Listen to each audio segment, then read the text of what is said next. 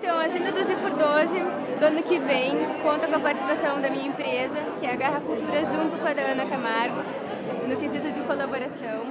Eu estou como escritora na agenda e também as minhas obras estão fazendo parte do fundo de todas as imagens.